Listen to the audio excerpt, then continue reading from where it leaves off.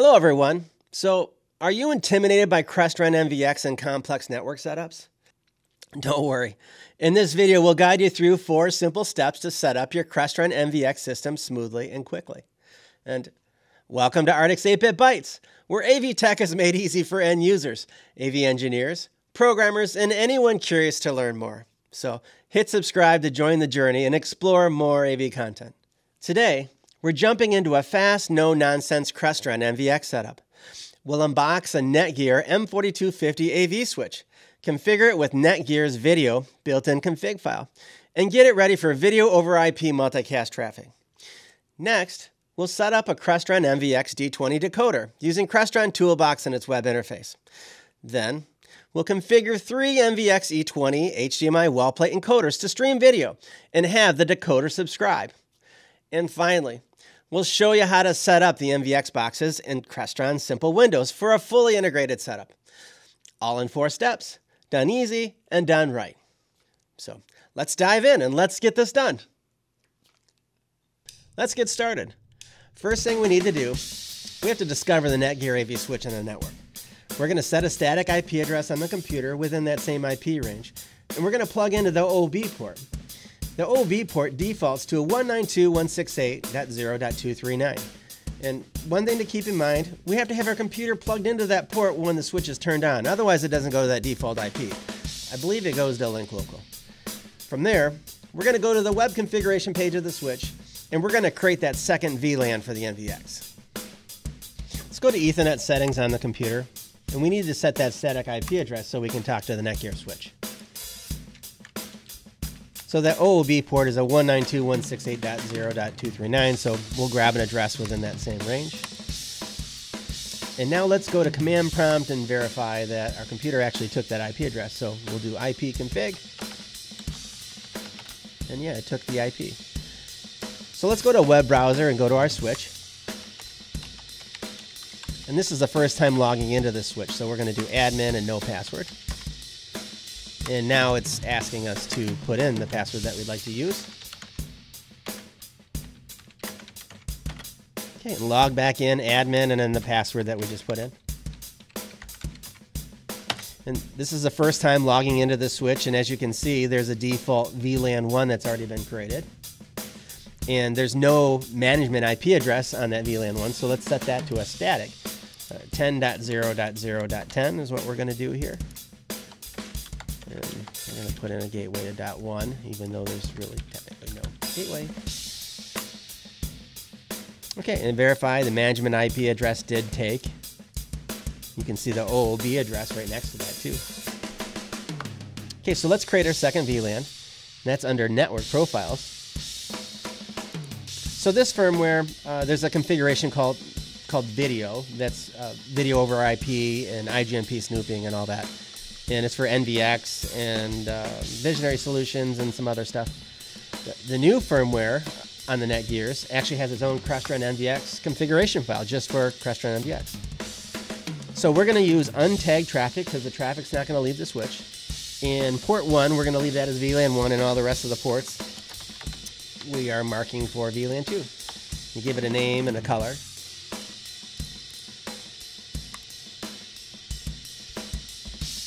Hit apply. Okay, success. And now we're going to go up and ver yeah, verify that VLAN 2 has been created.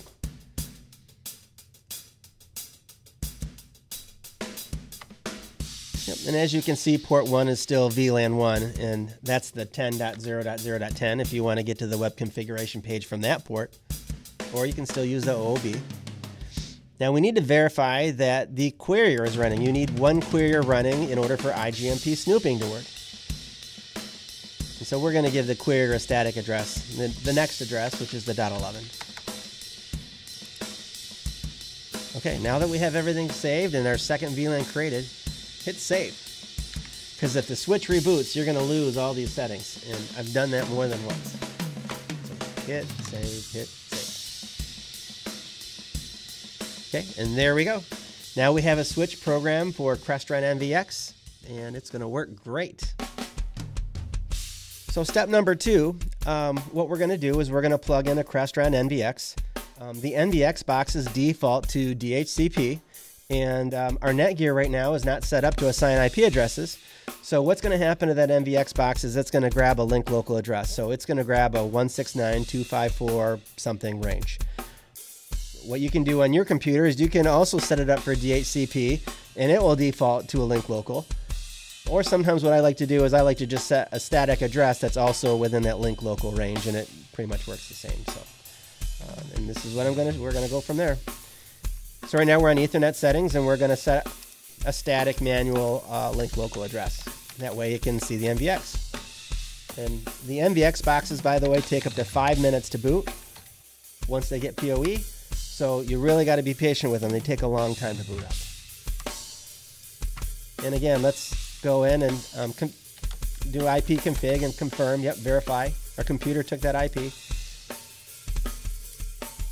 Now let's go into Crestron Toolbox, and that NVX should pop up. Yep, and there it is. You can see it has a link local address, a self-assigned. So we're going to double click on this and we're going to go into Ethernet settings and set a static IP. So just so you know, I'm only going to show you guys how to do one box. Um, there's also three encoders and a decoder, and it's all going to be the same. Now, notice the NVX here um, is asking for a password the first time that you log into it. Um, exact same thing that the Netgear did. So we put in a password, and uh, it takes a while um, to load all the settings off the box. It's pretty normal.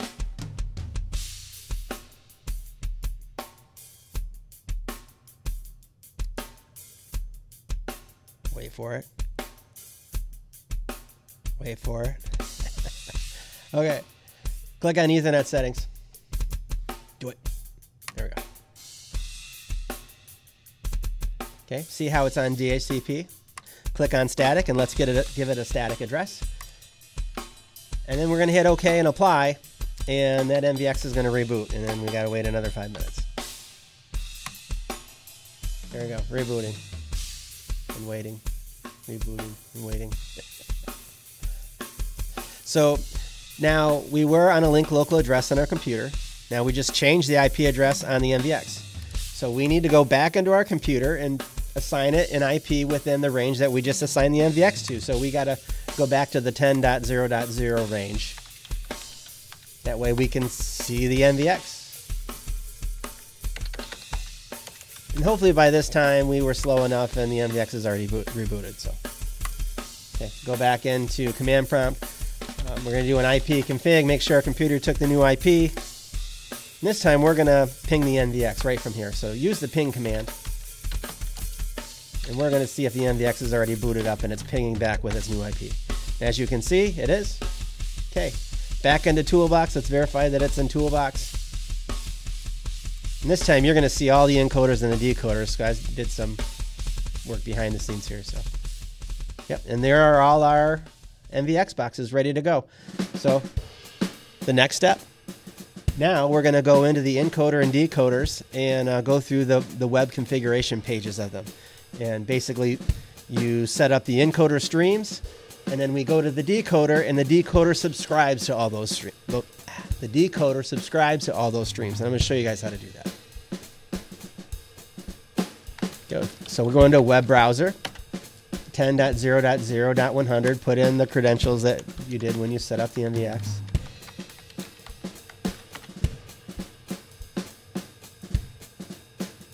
Okay, so we're looking at the encoder. The status is all the information on the NVX. Settings lets you change stuff. Security lets you create more users other than admin or Crestron or whatever user. Um, and here under status, you can see firmware and serial number and all that fun stuff. Network, this is where you can see the IP that we set within Crestron Toolbox. Let's go down to control system. So the encoders and the decoders we have them uh, phoning home back to the SIMPL Windows program and back to the processor. So you use the IP ID from the SIMPL Windows program and you put in the IP address of the processor. Um, do you want it to do cloud configuration, auto update? Do you want to turn on the time server, all that stuff? Right here is where we put in the IP ID from the SIMPL Windows program and then the IP address of the processor and it'll phone home. Your host name, you want to give it a name like input one, input two, or TV, or you want to be descriptive. That way the NVXs are easier to figure out. Under stream, um, I always use a 232 stream address, and then the, the last octet, the dot .100, I have the same as the IP address of the box. That way you know what the multicast address is. And as you can see, the encoder stream has already started. Okay, now that we have the one encoder side, um, just so you know, I've already set up the other two. I've already set up all the encoders, but um, now I'm going to show you the decoder. Now the decoder um, basically is going to subscribe to all the encoder streams. So we're going to go through how to subscribe to those streams.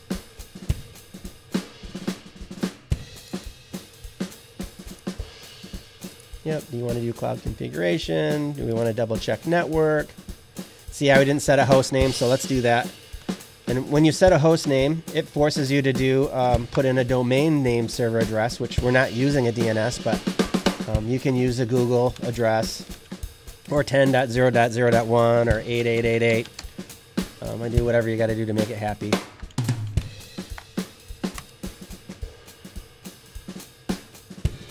Okay, hit save. There you go. Okay. Yep, you want it to phone home via cloud. You want it to auto update. Sure, maybe, maybe not. Do you want it to look for a time clock or time server? Okay, let's go down. Let's add. I'll show you how to do control system. You put in the IP ID um, of the box from SIMPL Windows and put in the IP address of the processor, and then it should phone home. And it'll tell you if it's online or offline from the settings uh, tab. Hit save. Yep.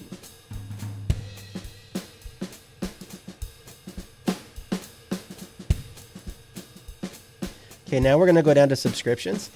It should see the three encoders um, basically broadcasting their multicast traffic on the Netgear switch.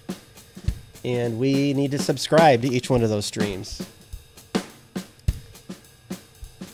Notice too, you can load and save subscriptions. So once you set up one decoder box, you can save it. And you can load that subscription uh, status or setup to every single decoder. Let's say you got 50 TVs. So um, and see how it says number one, two, and three? When we get to SIMPL Windows, um, we basically just tell the decoder what um, what stream we want to grab. It's just an analog number, one through three. So you can actually change the order of your inputs depending on how you have them loaded. Now here under routing, you can manually route audio and video to a decoder if you'd like, or you can do it through your SIMPL Windows program, which is the way we're going to set it up. see how the stream, it says that, yep, it's getting a stream. The stream has started. Seems to be happy. Okay, so this is our final step. Uh, we're going to go into SIMPL Windows and drop in a couple NVX boxes, and I want to show you um, a couple spots, uh, like on the decoder, and how to how to switch between streams. And um, I'll show you HDMI hot, hot sync really quick too. So um, we're going to start this as like a brand new program. We probably didn't need to show this. I'm sure you guys know how to do that, but. Okay, I, I, don't have a processor selected, so we're going to go in. It forces us with a new program to select a processor. Um, we're just going to grab an RMC4 just for the sake of demonstration. That is if we can find it. Then the 200 different devices. There we go. All right, let's go into Ethernet, and that's where we're going to plop in our, our encoders. See how it's IP ID 10, and we've already put that in you know, the spot where we told it to phone home to the con control system and we use 10, 11, and 12 for encoders, and then the decoder we use 20. It's a little tricky too to find uh, the NVX in this list. I always get lost.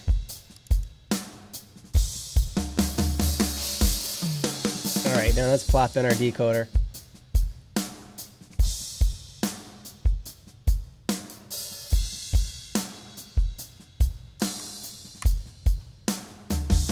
There we go. Okay, let's go over to the uh, the programming side.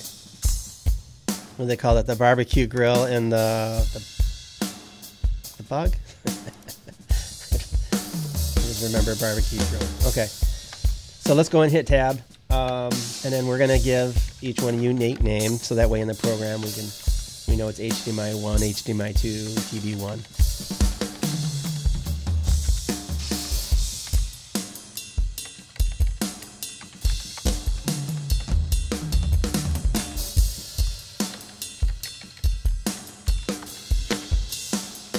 there we go. Now let's go into these. On the decoder side, um, if you go under XIO routing, this is where you're going to switch and tell the decoder what um, encoder streams to grab. You got one for video, one for audio. You can switch them separately. All I have to do is give those two um, spots an analog number, one, two, or three. So if I change the sequence of my streams on that decoder, I can change what what pops up, and I don't have to change the programming side. So.